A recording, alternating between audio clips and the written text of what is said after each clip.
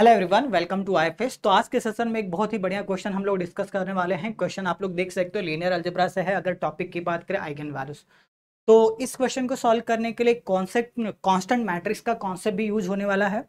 तो यहाँ पर सबसे पहले आप लोग क्या कर सकते हैं, पहले इस क्वेश्चन को खुद सॉल्व कर लीजिए। अगर आप वीडियो देख रहे हैं तो उस वक्त पॉज करके थोड़ा सा रुक सकते हैं और देख सकते हैं कि इस क्वेश्चन का आंसर क्या मिलेगा। तो चलिए मैं इसे डिस्कस करता हूँ। तो यहाँ पर अगर आप लोग देखेंगे, आपको क्या दिया गया? आपको ये दिया गया है कि आपके पास एक मैट्रिक्स है। जिसका ऑर्डर कितना है? Twenty twenty three into twenty twenty three और इसके एंट्रीज क्या है? डायगोनल एंट्रीज दिया गया है माइनस ट्वेंटी ट्वेंटी थ्री दिया गया है और नॉन डायगोनल एंट्रीज वन दिया गया है। तो अब इस मैट्रिक्स के बारे में बताना है कि geometric multiplicity of minus one जो है वन होगा।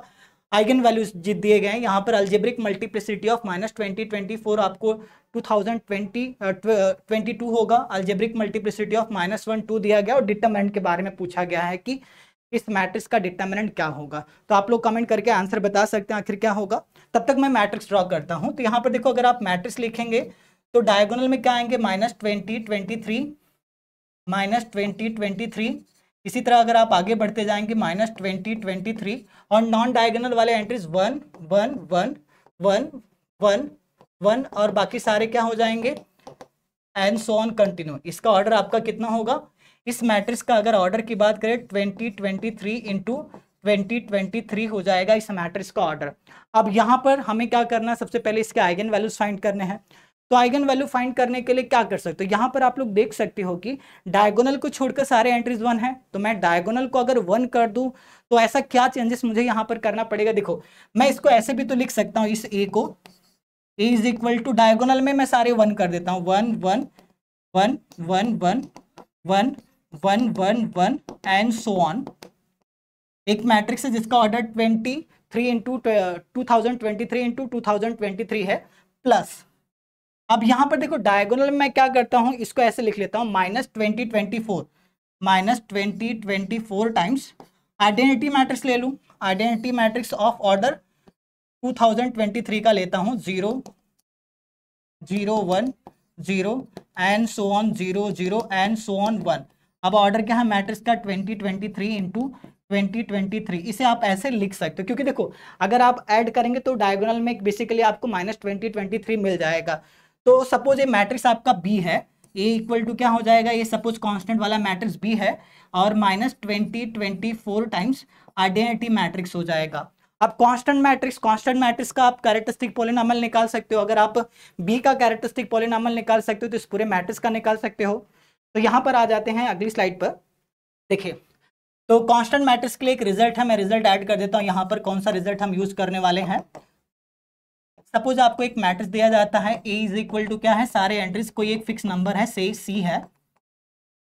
अगर इस मैट्रिक्स का ऑर्डर एन क्रॉस एन है तो इस केस में इसका जो कैरेक्टरिस्टिक पॉलिनॉमियल मिलता है एन क्रॉस एन दिया गया, इसका जो कैरेक्टरिस्टिक पॉलिनॉमियल होगा, ये हो जाएगा x raise to n minus one x minus n C हो जाएगा। यहाँ पर एन ऑर्डर है मैट्रिक्स का और सी ए फिक्स कांस्टेंट है।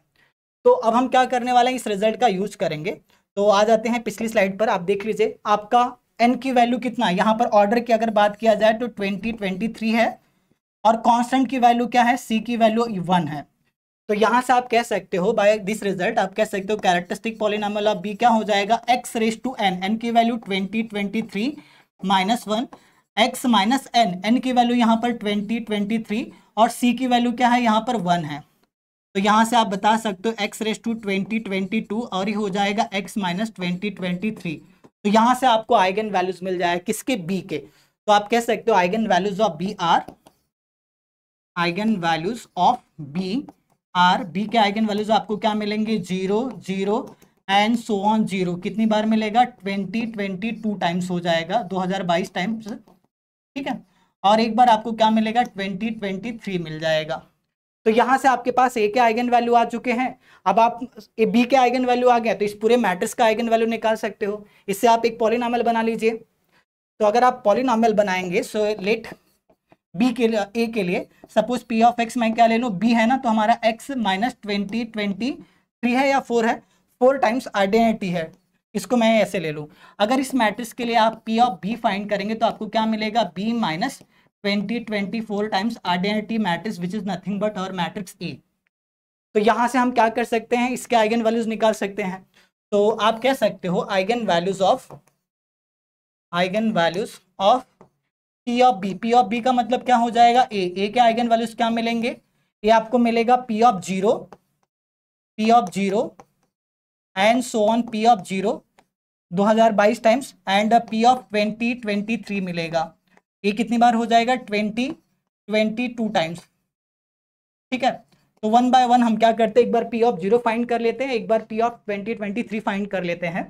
तो अगर आप यहाँ पर पी ऑफ़ ज़ीरो फाइंड करेंगे पी ऑफ़ ज़ीरो आपको क्या मिलेगा? एक्स की वैल्यू आप क्या करो? यहाँ पर पॉलिनॉमियल में ज़ीरो कर दो। तो ये मिलेगा माइनस ट्वेंटी ट्वेंटी फोर हो जाएगा। और अगर आप पी ऑफ़ ट्वेंटी ट्वेंटी एक आइगन वैल्यू क्या है? ट्वेंटी थ्री है। तो अगर ट्वेंटी थ्री आप निकालेंगे तो कितना मिलेगा? देखो, ये यहाँ पर माइनस वन हो जाएगा। तो यहाँ से आप बता सकते हो। So this implies that eigen values of A are A के आइगन वैल्यूज़ आपको यहाँ पर क्या मिलेंगे? पी ऑफ़ ज़ीरो कितनी बार है? तो ये हो जाएगा minus twenty twenty four minus twenty twenty four and so on minus twenty twenty four और लास्ट में एक बार आपको वन माइनस वन मिलेगा। तो ये टोटल है आपका ट्वेंटी ट्वेंटी टू टाइम्स तो यहाँ से आपके पास इसके आइगन वैल्यूज़ मिल गए हैं। ठीक है? तो आप यहीं से डिटर्मिनेंट भी बता सकते हो। डिटर्मिनेंट क्या होता है? आइगन वैल्यूज़ का प्रोडक्ट ए कितनी बार मल्टीप्लाई किया? ट्वेंटी ट्वेंटी टू टाइम्स तो ये हो जाएगा डिटर्मिनेंट ऑफ़ ए की अगर आप बात करोगे तो मल्टीप्लाई कर दो। Twenty twenty four times minus of twenty twenty four कितनी बार आया है आपका?